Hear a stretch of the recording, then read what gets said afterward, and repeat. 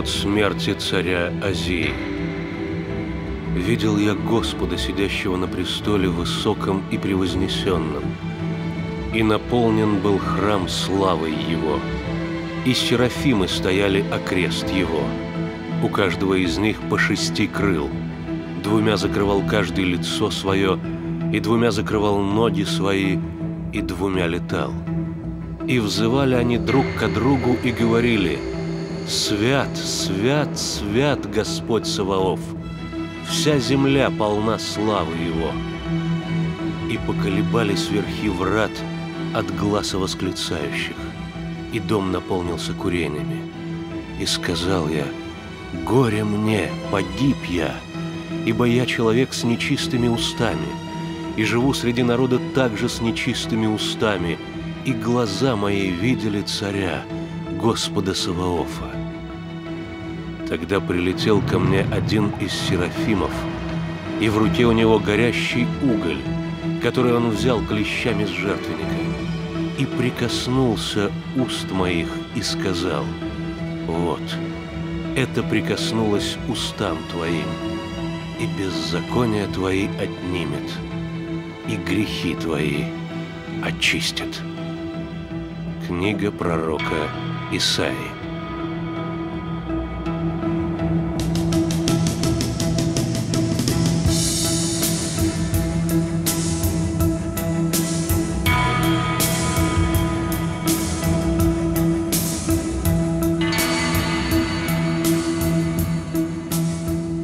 Конце февраля 1903 года профессор Сербский разрешает Врубелю покинуть психиатрическую клинику, чтобы провести весну с семьей. Сначала Михаил Александрович один отправляется в Крым к сестре за вдохновением, но погода там оказывается неожиданно холодной. Способность творить, на которую так надеялись врачи, не возвращается. Писать он не может, и от беспомощности приходит в глубокое отчаяние. Через месяц он возвращается назад в Москву и жена везет его на хутор в Киевскую губернию. Надежда Ивановна вспоминала, с какой огромной радостью приближались они к городу, где оба делали первые шаги на поприще искусства, как ждали встречи со старыми друзьями, и как радость эта сменилась жестоким горем. Их маленький сын Савочка, которому не было еще и двух лет, заболел в нетопленном вагоне воспалением легких и 3 мая в Киеве скончался. До похорон Михаил Александрович держался очень мужественно, но потом сказал, везите меня куда-нибудь, а то я вам наделаю хлопот. Лето он проводит в рижских лечебницах, а в сентябре, когда после каникул открываются московские, опять попадает к сербскому. Состояние его чудовищно. Он страшно страдает, долго не может прийти в себя. Но в ноябре вдруг снова начинает читать и рисовать. И вскоре работа превращается в неумолимую потребность, которая увлекает его и днем, и ночью. Он пишет все, что попадается ему на глаза. Больных, санитаров, смятую постель, вид из окна – а в декабре берется за большую картину, которая называется «Шестикрылый Серафим». «И услышал я голос Господа, говорящего, «Кого мне послать, и кто пойдет к людям сим?» И я сказал, «Вот я, пошли меня». И сказал он, «Пойди и скажи этому народу, слухом услышите, и не уразумеете, и очами смотреть будете, и не увидите.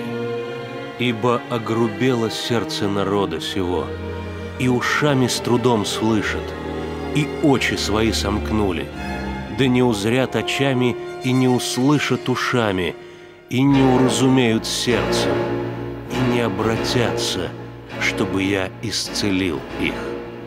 И сказал я, надолго ли, Господи? Он сказал, «Доколе не опустеют города и останутся без жителей, и дома ненаселенными, и земля останется пуста». Книга пророка Исаии. Год смерти царя Азии и этого видения 742 до Рождества Христова. Ровно через 20 лет Северное еврейское царство Израиль было стерто с лица земли, и народ Божий увидел, как воплощается слово пророка. Исаия продолжает взывать к совести Иудея, чтобы и на ее голову не обрушился Тот же гнев за язычество и суеверие, за жестокость и развращенность нравов, за несправедливость властей и за то, что богослужение превратилось в одну лишь видимость. В Рубеле мучит бессонница и депрессия. Температура чуть ли не каждый день поднимается до 39. Ломает суставы, правую кисть сковывает ревматизм. Но он все равно упорно продолжает писать, несмотря на острую боль. И к августу, наконец, побеждает. Он выписывается, перевозит Серафима в Петербург, параллельно начинает там работать над оперными костюмами и очень светлыми портретами жены. Но наступает трагическое 9 января. Академия бурлит. Друзья отказываются иметь дело с правительством. Врубель снова попадает в клинику.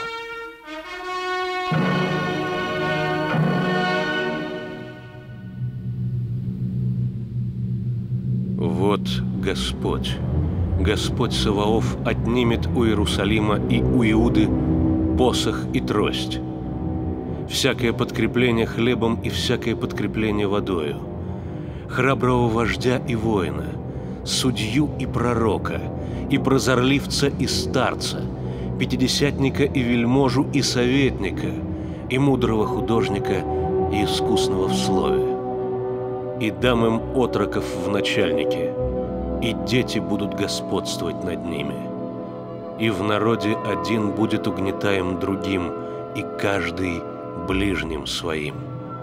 Юноша будет нагло превозноситься над старцем, и простолюдин над вельможею. Книга пророка Исаии.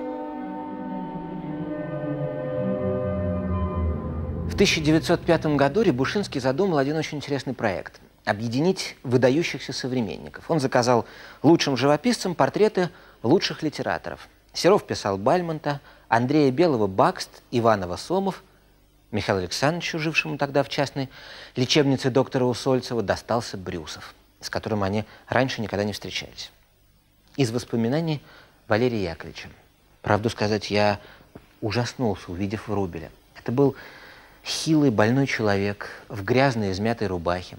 У него было красноватое лицо, глаза, как у хищной птицы, торчащие волосы вместо бороды. Первое впечатление – сумасшедший. Он вошел неверной тяжелой походкой, как бы волоча ноги, и после обычных приветствий спросил, «Это вас я должен писать?» И стал рассматривать меня по-особенному, по-художнически, пристально, почти проникновенно. Сразу выражение его лица изменилось. Сквозь безумие проглянул гений. В жизни, во всех движениях Врубеля было заметно явное расстройство, но едва рука брала уголь или карандаш, она приобретала необыкновенную уверенность и твердость.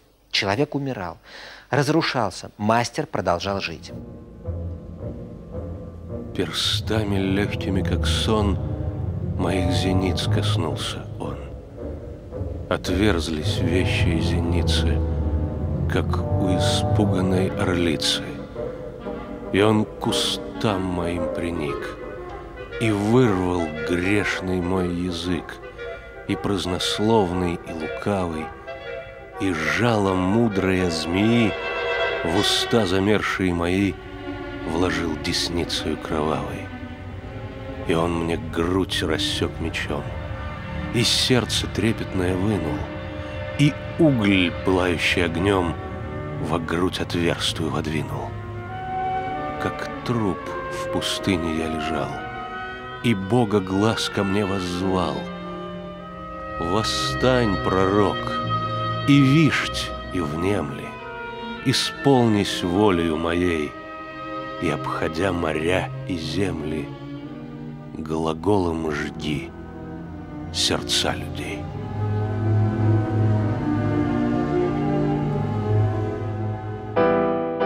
Своего первого пророка, Пушкинского, Михаил Александрович написал в 98 году, когда сам еще не очень хорошо знал Священное Писание. Исайя выглядит там почтенным старцем, хотя в момент призвания был лет около 30.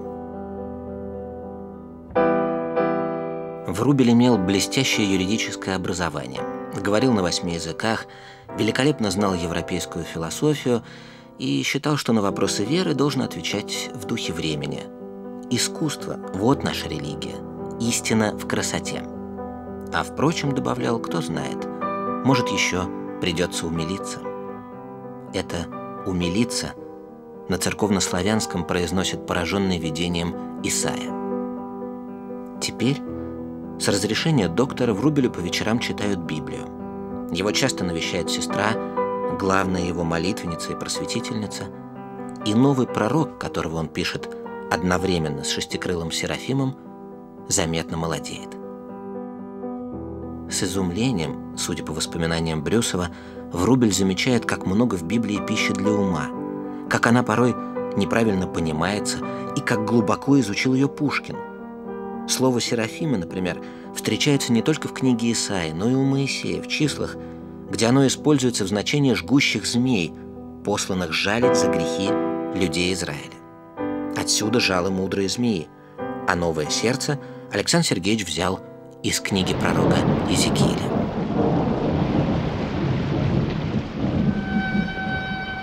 «Я буду судить вас, дом Израилев, каждого по путям его, говорит Господь Бог. Покайтесь и обратитесь от всех преступлений ваших, чтобы нечестие не было вам преткновением.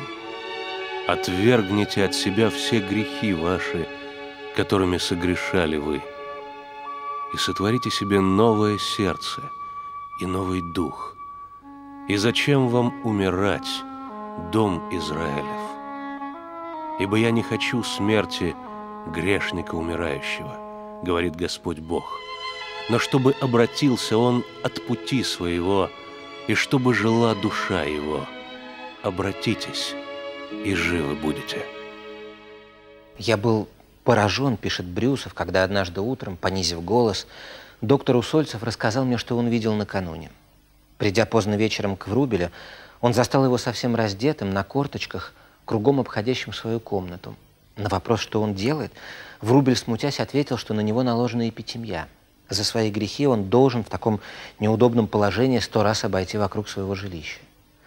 На меня этот рассказ произвел впечатление гнетущее, но через минуту вошел сам Михаил Александрович, столь же спокойный, можно сказать, добродушный, как всегда, и тоже, как всегда, сосредоточенно принялся за работу. Скоро, однако, и мне пришлось быть с горестью свидетелем душевного расстройства в Рубеле. На ближайшем сеансе, все продолжая рисовать, он как-то странно сжал губы и вдруг спросил, «А что, вы ничего не слышите?» «Ничего».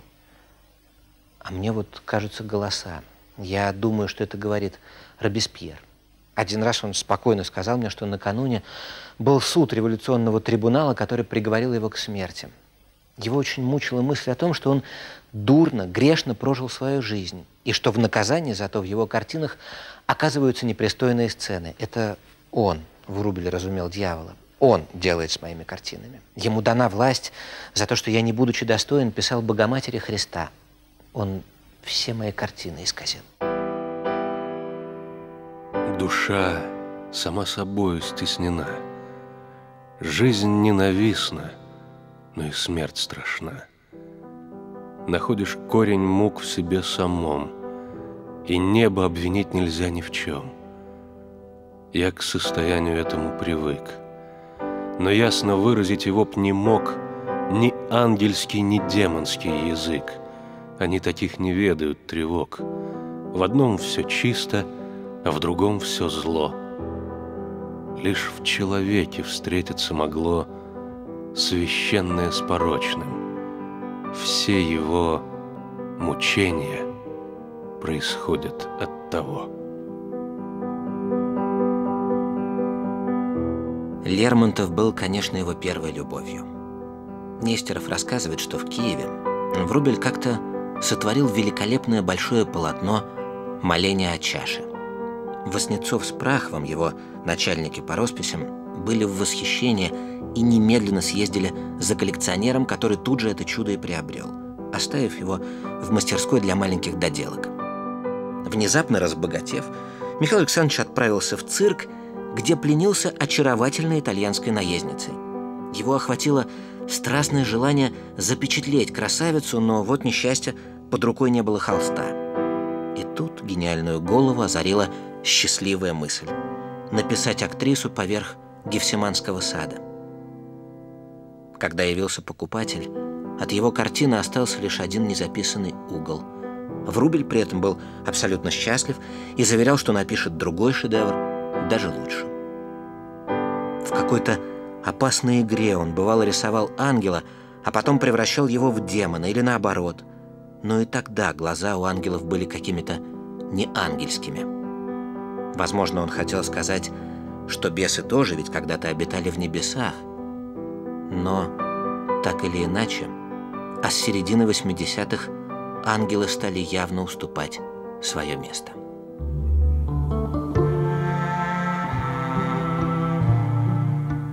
Печальный демон, дух изгнания, летал над грешной землей. И лучших дней воспоминания пред ним теснились и толпой. Тех дней, когда в жилище света блистал он, чистый херувим, когда бегущая комета улыбкой ласковой привета любила поменяться с ним, когда сквозь вечные туманы – познания жадный он следил кочующие караваны в пространстве брошенных светил, когда он верил и любил, счастливый первенец творения, не знал ни злобы, ни сомнения, и не грозил уму его веков бесплодных ряд унылый. И много-много, и всего — Припомнить не имел он силы.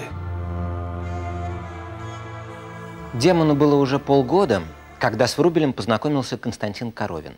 Под Киевом было жарко, они пошли искупаться, и Константин Алексеевич вдруг увидел на груди у коллеги огромные белые полосы, как шрамы. «Да, это шрамы», — сказал Врубель. «Я резал себя ножом». Окунулись, растянулись, и Коровин не выдержал. А все-таки скажите, Михаил Александрович, что же это такое вы себя резали-то? Ведь это должно быть больно. Что это операция какая-то? Поймете ли, вы ответил Врубель, я любил женщину. Она меня не любила. Даже любила, но многое мешало ее пониманию меня. Я страдал от невозможности объяснить ей это мешающее. Я страдал, но когда резал себя, страдания уменьшались. Так как я тогда не страдал от любви к женщине, то действительно ничего не понял. Но все же подумал и сказал, да, сильно вы любили. Если любовь, ответил Врубель, то она сильна. И не в меньшей степени близок был Михаил Александровичу Лермонтовский пророк. Не было ни одного человека, пишет тот же Коровин, который бы больно не укусил его или не старался бы укусить. Что за озлобленная ругань и ненависть сыпались на бедную голову Михаила Александровича. Он изверился из-за непонимания окружающих, и горьки часто были его глаза – и сирота был этот дивный философ-художник. Такие милые шутки жизни не проходят даром. Он стал попивать вино, но никогда, нигде этот человек не сказал ни про кого худо, не сказал, что нужно было сказать. Подлецы. С тех пор, как вечный судья мне дал всеведение пророка, в очах людей читаю я страницы злобы и порока – Провозглашать я стал любви и правды чистые учения. В меня все ближние мои бросали бешено каменья. Посыпал пеплом я главу, из городов бежал я нищий. И вот в пустыне я живу, как птицы, даром Божьей пищи. Когда же через шумный град я пробираюсь торопливо, то старцы детям говорят — с улыбкой самолюбивой. «Смотрите, вот пример для вас. Он горд был, не ужился с нами. Глупец хотел уверить нас, что Бог гласит его устами. Смотрите ж, дети, на него, как он угрюм и худ и бледен, Смотрите, как он наг и беден, как презирают все его». Лермонтов написал своего пророка в продолжение Пушкинскому. Врубель сумел пройти обратным путем. Можно сказать, что его душа была Тамарой. Он долго обманывался, поэтизировал зло, говорил, что его демон — это не бес, а образ мечущегося человека. Но потом Михаил Александрович приютил Мамонтов, посватал за сопрано своего театра любимицу римского Корсакова Надежду Забеллу, царевну-лебедь. Врубель дышал ей, придумывал костюмы для дома и сцены, лично одевал ее перед каждым спектаклем. Жутко застенчиво перед ней он раскрывался, как маленький ребенок. Даже нищета прошла. Жизнь налаживалась, и он стал смотреть на нее нормальными человеческими глазами. А на демона – Тамариными, только не начало поэмы, а конца. В пространстве синего эфира один из ангелов святых летел на крыльях золотых, и душу грешную от мира он нес в объятиях своих. Издалека уж звуки рая к ним доносились, как вдруг, свободный путь пересекая, взвелся из бездны адский дух. К груди хранительной прижалась, молитвой ужас заглуша Тамары грешная душа. Судьба грядущего решалась. Пред нею снова он стоял. Но, Боже, кто б его узнал? Каким смотрел он злобным взглядом, Как полон был смертельным ядом Вражды, не знающей конца. И веяло могильным хладом От неподвижного лица. В 1902 Михаил Александрович заканчивает демона, о котором Христос говорит «Я видел сатану, спадшего с неба, как молнию». Такого конца демонианы дьявол в Рубелю, конечно, не простил. Картину, которая столько для него значила, освистали. И не только в традиционно терзавшей его академии. Третьяковка отказалась ее купить. Тогда у кроткого Михаила Александровича и начались гневные припадки, срывы, и он впервые попал в сумасшедший дом. Февраль 1906 года. «Дорогой Мишуренко», — пишет ему сестра, «Надя в восторге от твоего Серафима, и я также. Дягилев, добавляет Надежда Ивановна, взял для парижской выставки все, что у меня было. В особенности обрадовался клинической картине, которая была сюрпризом. Вообрази, Миша, что вчера я на аукционе городском купила твою вещь. Вероятно, 80-х годов. Какой-то зимний или лунный пейзаж – немножко дорого, за 151 рубль. Но это доказывает, что твои картины очень в цене. Левитан пошел за 7 рублей. В эти дни Михаил Александрович окончательно ослеп. Но, как это не кажется невероятным, говорит Анна Александровна, с потерей зрения психика брата стала успокаиваться. Его перевезли в Петербург, в клинику на Васильевском острове, поближе к Академии художеств. Соратников, правда, он принимать не очень любил, потому что стеснялся своей немощи, зато утешался ежедневными чтениями сестры и частым пением Надежды Ивановны. Так прошли четыре года. Могло бы и больше пройти, но зимой 1910-го он заболел воспалением легких. О смерти узнал заранее. Накануне сам тщательно привел себя в порядок, горячо, с благодарностью поцеловал руки своей Нюточки и своей Надюши, а ночью сказал санитару, «Николай, довольно мне здесь уже лежать. Поедем в академию». В словах этих заканчивать свои воспоминания Анны Врубель было какое-то пророческое предчувствие. Через сутки приблизительно брат был уже в гробу, торжественно перенесен в свою альма-матер.